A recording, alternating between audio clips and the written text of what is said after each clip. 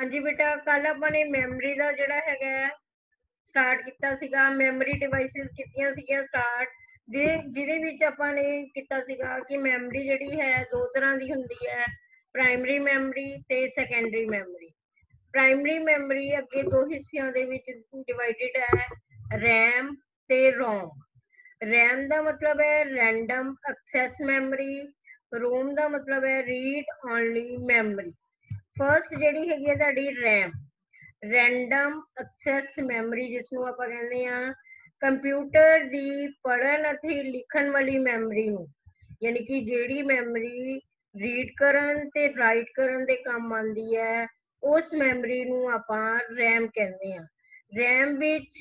ਕਿਸੇ ਵੀ ਮੈਮਰੀ ਦੀ ਪੋਜੀਸ਼ਨ ਨੂੰ ਐਕਸੈਸ ਕੀਤਾ ਜਾ ਸਕਦਾ ਹੈਗੀ ਹੈ ਜਿਹੜੀ ਵੀ ਆਪਾਂ ਮੈਮਰੀ ਦੀ ਪੋਜੀਸ਼ਨ ਹੈ, ਹਰ ਇੱਕ ਪੋਜੀਸ਼ਨ ਦੇ ਉੱਤੇ ਜਾਣ ਆਉਣ ਦੇ ਲਈ ਜਿਹੜਾ ਸਮਾਂ ਹੈਗਾ ਉਹ ਬਰਾਬਰ ਹੁੰਦਾ ਹੈਗਾ ਯੂਜ਼ਰ ਆਪਣੇ ਪ੍ਰੋਗਰਾਮ ਜਦੋਂ ਆਪਾਂ ਯੂਜ਼ਰਸ ਆਪਾਂ ਹੈਗੇ ਆ ਜਦੋਂ ਆਪਾਂ ਆਪਣੇ ਪ੍ਰੋਗਰਾਮ ਤੇ ਡਾਟੇ ਨੂੰ ਰੋਮ ਦੇ ਰੈਮ ਦੇ ਵਿੱਚ ਜਿਹੜਾ ਹੈਗਾ ਇਨਪੁਟ ਕਰਦੇ ਆ ਜਿੰਨੀ ਦੇਰ ਤੱਕ ਤਾਂ ਬਿਜਲੀ ਦੀ ਸਪਲਾਈ ਰਹਿੰਦੀ ਹੈ, ਯਾਨੀ ਕਿ ਜਦੋਂ ਤੱਕ ਤਾਂ ਬਿਜਲੀ ਹੈਗੀ ਹੈ ਲਾਈਟ ਹੈਗੀ ਹੈ ਉਨੀ ਦੇਰ ਤੱਕ ਇਸ ਦੇ ਵਿੱਚ ਡਾਟਾ ਤੇ ਇਨਸਟਰਕਸ਼ਨਸ ਤੁਹਾਡੀਆਂ ਸਟੋਰ ਰਹਿੰਦੀਆਂ। ਤੇ ਜੇ ਲਾਈਟ ਚਲੀ ਜਾਂਦੀ ਹੈਗੀ ਹੈ, ਤਾਂ ਜਾਂ ਸਪਲਾਈ ਲਾਈਟ ਦੀ ਬੰਦ ਹੋ ਜਾਂਦੀ ਹੈ, ਤੇ ਇਸ ਦੀ ਜਿੰਨਾ ਵੀ ਡਾਟਾ ਹੈਗਾ ਜਾਂ ਇਨਸਟਰਕਸ਼ਨ ਹੈ, ਖਤਮ ਹੋ ਜਾਂਦੇ ਨੇ।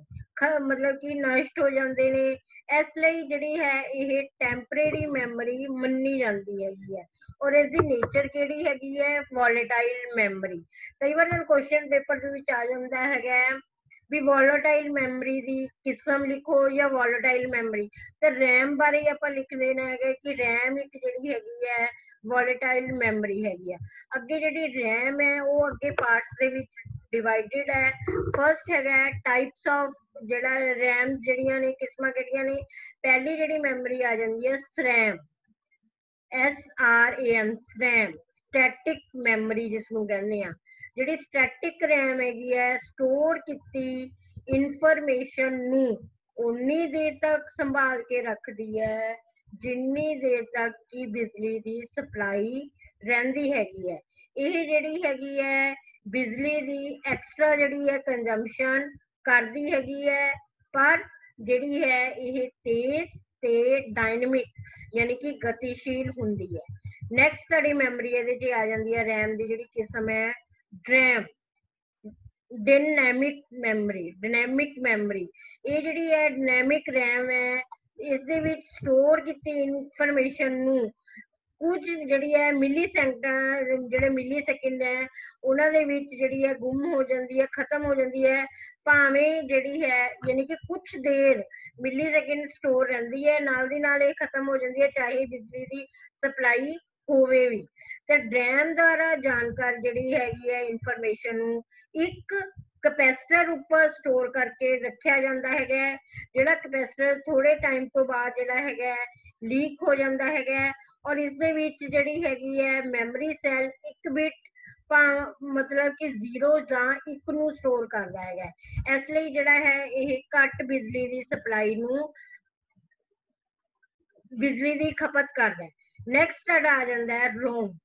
ਸੈਕਿੰਡ ਮੈਮਰੀ ਆ ਗਈ ਇਹਦੇ, ਜਿਹੜੇ ਟਾਈਪਸ ਆਫ ਪ੍ਰਾਇਮਰੀ ਮੈਮਰੀ ਆ ਗਈ ROM read only memory ROM ਤੋਂ ਮਤਲਬ ਹੈ ਰੀਡ ਓਨਲੀ ਮੈਮਰੀ ਰੋਮ ਸਿਰਫ ਪੜਨ ਦੇ ਕੰਮ ਨੂੰ ਪੂਰਾ ਕਰਦੀ ਹੈ। ਜਿਵੇਂ ਰੈਮ ਹੈ ਰੈਮ ਤਾਂ ਰੀਡ ਤੇ ਰਾਈਟ ਦੋਨਾਂ ਦੇ ਕੰਮ ਆਉਂਦੀ ਹੈ ਤੇ ਰੋਮ ਹੈ, ਇਹ ਸਿਰਫ ਰੀਡ ਕਰਨ ਦਾ ਕੰਮ ਕਰਦੀ ਹੈਗੀ ਹੈ, ਪੂਰਾ ਕਰਦੀ ਹੈ, ਇਸ ਲਈ ਜਿਹੜੀ ਰੋਮ ਹੈ, ਉਹ ਇੱਕ ਨਾਨ ਵੋਲੇਟਾਈਲ ਮੈਮਰੀ ਦੀ ਐਗਜ਼ਾਮਪਲ ਹੈ। ਇਸ ਵਿੱਚ ਜਿਹੜੇ ਵੀ ਫੈਕਟਰਸ ਹੈ, ਜਿਹੜੇ ਵੀ ਤੱਤ ਹੈ, ਉਹਨਾਂ ਨੂੰ ਆਪਾਂ ਬਦਲ ਨਹੀਂ ਸਕਦੇ। ਕੋਈ ਵੀ ਜਿਹੜਾ ਯੂਜ਼ਰ ਹੈ, ਇਸ ਦੇ ਵਿੱਚ ਕੋਈ ਵੀ ਐਕਸਟਰਾ ਚੀਜ਼ ਨਹੀਂ ਲਿਖ ਸਕਦਾ ਹੈਗਾ। ਜੋ ਕੁਝ ਵੀ ਲਿਖਿਆ ਹੋਇਆ ਹੈਗਾ ਉਸ ਨੂੰ ਹੀ ਆਪਾਂ ਜਿਹੜਾ ਹੈਗਾ ਰੀਡ ਕਰ ਸਕਦੇ ਹੈਗੇ। ਅੱਗੇ ਜਿਹੜਾ ਰੋਮ ਹੈ, ਉਹ ਵੀ ਜਿਹੜਾ ਹੈ ਪਾਰਟਸ ਦੇ ਵਿੱਚ ਡਿਵਾਈਡ ਹੈ। ਜਿਸ ਦੇ ਵਿੱਚ ਸਭ ਤੋਂ ਪਹਿਲਾ ਪਾਰਟ ਤੁਹਾਡਾ ਆ ਜਾਂਦਾ ਹੈਗਾ ਪ੍ਰੋਮ ਪ੍ਰੋਮ ਇਹ ਜਿਹੜੀਆਂ ਫੁੱਲ ਫਾਰਮਸ ਵੀ ਆਪਾਂ ਨੇ ਕੀਤੀਆਂ ਸੀਗੀਆਂ ਫੁੱਲ ਫਾਰਮ ਦੇ ਵਿੱਚ ਵੀ ਆ ਜਾਂਦਾ ਹੈ ਪ੍ਰੋਮ ਪ੍ਰੋਗਰਾਮੇਬਲ ਰੋਮ ਇਸ ਨੂੰ ਆਪਾਂ ਕਹਿੰਦੇ ਆ ਪ੍ਰੋਮ ਪ੍ਰੋਗਰਾਮੇਬਲ ਰੋਮ ਇਸ ਤੋਂ ਬਾਅਦ ਪ੍ਰੋਗਰਾਮੇਬਲ ਰੋਮ ਤੋਂ ਹੈ ਇਸ ਦੇ ਵਿੱਚ ਜਿੰਨੇ ਵੀ ਫੈਕਟਰਸ ਹੈ, ਸਾਰਿਆਂ ਦਾ ਜਿਹੜਾ ਡਿਸੀਜਨ ਹੈ ਯੂਜ਼ਰਸ ਵੱਲੋਂ ਲਿੱਤਾ ਜਾਂਦਾ ਹੈਗਾ ਇਸ ਵਿੱਚ ਡਾਟਾ ਸਿਰਫ ਹੈ, ਇੱਕ ਵਾਰ ਆਪਾਂ ਰਾਈਟ ਕਰਦੇ ਹੈਗੇ ਆ ਤੇ ਜਿਹੜੇ ਇਸ ਦੇ ਜਿਹੜੇ ਇਕਵਿਪਮੈਂਟਸ ਹੈ ਜਿਹੜੇ ਵੀ ਇਹਨਾਂ ਦੇ ਜਿਹੜੇ ਇਸ ਦੇ ਵਿੱਚ ਜੋ ਵੀ ਹੁੰਦਾ ਹੈਗਾ ਉਸ ਨੂੰ ਆਪਾਂ ਪ੍ਰੋਮ ਪ੍ਰੋਗਰਾਮਸ ਕਹਿੰਦੇ ਆ ਇਸ ਵਿੱਚ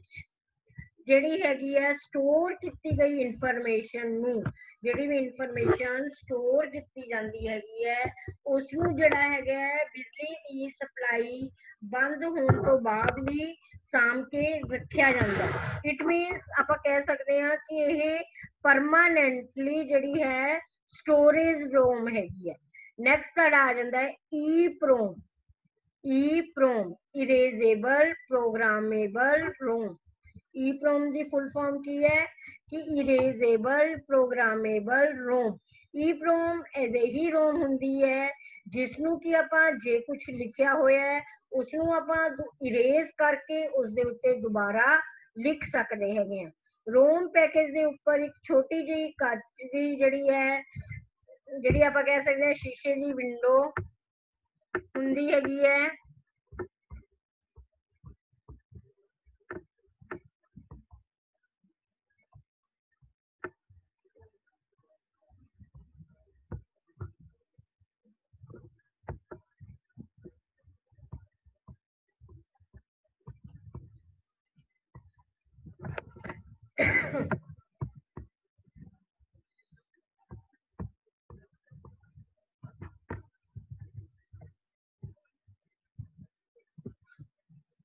ਹਾਂਜੀ, ਜਿਹੜੀ ਈ ਪ੍ਰੋਮ ਹੈ ਇਸ ਦੇ ਉੱਤੇ ਆਪਾਂ ਕੀ ਹੈ ਕਿ ਇਸ ਨੂੰ ਇਰੇਜ਼ ਕਰਕੇ ਆਪਾਂ ਦੁਬਾਰਾ ਲਿਖ ਸਕਦੇ ਹਾਂ। ਰੋਮ ਪੈਕੇਜ ਦੇ ਉੱਪਰ ਜਿਹੜਾ ਹੈਗਾ ਇੱਕ ਛੋਟੀ ਜਿਹੀ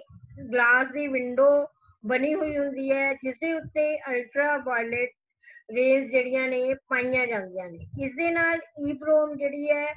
ਸਾਫ਼ ਹੋ ਜਾਂਦੀ ਹੈ, ਜੋ ਕੁਝ ਵੀ ਲਿਖਿਆ ਹੋਇਆ ਜਾਂਦਾ ਹੈ, ਹੋਇਆ ਹੁੰਦਾ ਹੈ, ਤੇ ਇਸ ਦੇ ਉੱਪਰ ਜਦੋਂ ਕਲੀਨ ਹੋ ਜਾਂਦੀ ਹੈ ਤੇ ਆਪਾਂ ਉਸ ਦੇ ਉੱਤੇ ਜਿਹੜੀ ਵੀ ਇਨਫੋਰਮੇਸ਼ਨ ਦੁਬਾਰਾ ਲਿਖਣਾ ਚਾਹੁੰਦੇ ਆ ਉਹ ਲਿਖੀ ਜਾ ਸਕਦੀ ਹੈਗੀ ਹੈ। ਇਸ ਵਿੱਚ ਜਾਣਕਾਰੀ, ਕੋਈ ਵੀ ਇਨਫੋਰਮੇਸ਼ਨ ਹੈ ਇਨਸਟਰਕਸ਼ਨ ਹੈ ਡਾਟਾ ਹੈਗਾ ਉਨੀ ਦੇਰ ਤੱਕ ਚਿਪ ਵਿੱਚ ਰਹਿੰਦਾ ਹੈਗਾ ਜਦੋਂ ਤੱਕ ਕਿ ਦੁਬਾਰਾ ਇਸ ਨੂੰ ਆਪਾਂ ਕਲੀਅਰ ਨਾ ਕਰ ਦਿੱਤੇ, ਕਰ ਦਈਏ। ਨੈਕਸਟ ਆ ਜਾਂਦਾ ਹੈ ਈ ਈ ਪ੍ਰੋਮ electronical, erasable, programmable, ROM. Electronical, erasable, programmable, ROM. ਇਸ ਦੇ ਵਿੱਚ ਜਿਹੜੇ ਤੱਤ ਹੈ, ਜਿਹੜੇ ਵੀ ਇਨਫੋਰਮੇਸ਼ਨ ਹੁੰਦੀ ਹੈ, ਉਹਨਾਂ ਨੂੰ ਆਪਾਂ ਮਿਲੀ ਸਕਿੰਟਾਂ ਦੇ ਵਿੱਚ ਜੇ ਚੇਂਜ ਕਰਨਾ ਚਾਹੀਏ, ਤਾਂ ਚੇਂਜ ਕਰ ਸਕਦੇ ਹੈਗੇ ਆ। ਡਾਟੇ ਨੂੰ ਕਿਸੇ ਬਾਈਟ ਨੂੰ ਪੂਰਾ ਜਿਹੜਾ ਹੈ ਕਿਸੇ ਬਾਈਟ ਨੂੰ ਜਾਂ ਪੂਰੇ ਜਿਹੜਾ ਹੈ ਇਕਵਿਪਮੈਂਟ ਨੂੰ 10 ਮਿੰਟਾਂ ਦੇ ਵਿੱਚ ਆਪਾਂ ਜਿਹੜਾ ਹੈਗਾ ਕਲੀਨ ਕਰ ਸਕਦੇ ਹਾਂ ਇਸ ਨੂੰ ਕਲੀਨ ਕਰਨਾ ਤੇ ਪ੍ਰੋਗਰਾਮਿੰਗ ਕਰਨਾ ਆਸਾਨ ਹੁੰਦਾ ਹੈਗਾ ਔਰ ਇਸ ਨੂੰ ਫਲੈਸ਼ ਮੈਮਰੀ ਵੀ ਕਿਹਾ ਜਾਂਦਾ ਕਈ ਵਾਰ ਤੁਹਾਨੂੰ ਇਹ ਕੁਐਸਚਨ ਆ ਜਾਂਦਾ ਹੈਗਾ ਕਿ ਜਿਹੜਾ ਹੈ ਫਲੈਸ਼ ਵੀ ਇਸ ਦਾ ਦੂਜਾ ਨਾਮ ਕੀ ਹੈਗਾ ਈ ਪ੍ਰੋਮ ਦਾ ਤੇ ਇਸ ਦਾ ਜਿਹੜਾ ਦੂਸਰਾ ਨਾਮ ਹੈਗਾ ਫਲੈਸ਼ ਮੈਮਰੀ ਹੈਗਾ ਇਹ ਤਾਂ ਤੁਹਾਡੀਆਂ ਪ੍ਰਾਇਮਰੀ ਮੈਮਰੀ ਦੀਆਂ ਟਾਈਪਸ ਹੋ ਗਈਆਂ, ਵੀ RAM ਤੇ ROM ਹੁੰਦੀਆਂ ਨੇ ਪ੍ਰਾਇਮਰੀ ਮੈਮਰੀ ਦੀਆਂ ਟਾਈਪਸ RAM ਅੱਗੇ ਜਿਹੜੀ ਹੈਗੀ ਹੈ ਪਾਰਟਸ ਦੇ ਵਿੱਚ ਡਿਵਾਈਡ ਹੁੰਦੀ ਹੈ ਤੇ ROM ਅੱਗੇ ਪਾਰਟਸ ਦੇ ਵਿੱਚ ਡਿਵਾਈਡ ਹੁੰਦੀ ਹੈ। ਇਹ ਸਾਡਾ ਇੱਕ ਫੁੱਲ ਫਲੈਜ ਲੌਂਗ ਕੁਐਸਚਨ ਬਣ ਗਿਆ ਵੀ ਐਕਸਪਲੇਨ ਦਾ primary memory primary memory types ਵੀ ਪ੍ਰਾਇਮਰੀ ਮੈਮਰੀ ਦੀਆਂ ਮੁੱਖ ਕਿਸਮਾਂ ਕਿਹੜੀਆਂ ਕਿਹੜੀਆਂ ਹਨ? ਕਈ ਵਾਰ ਤੁਹਾਨੂੰ ਕੁਐਸਚਨ ਆ ਜਾਂਦਾ ਹੈ ਕਿ what is primary memory explain the primary memory in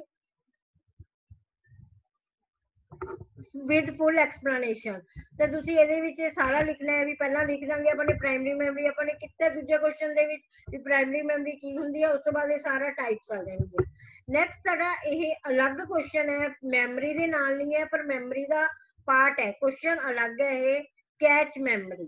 cash memory ਜਿਸ ਨੂੰ ਆਪਾਂ ਕਹਿੰਦੇ ਆ, ਇਹ ਜਿਹੜਾ ਹੈਗਾ ਇਹ ਉਹ ਮੈਮਰੀ ਹੁੰਦੀ ਹੈਗੀ ਹੈ,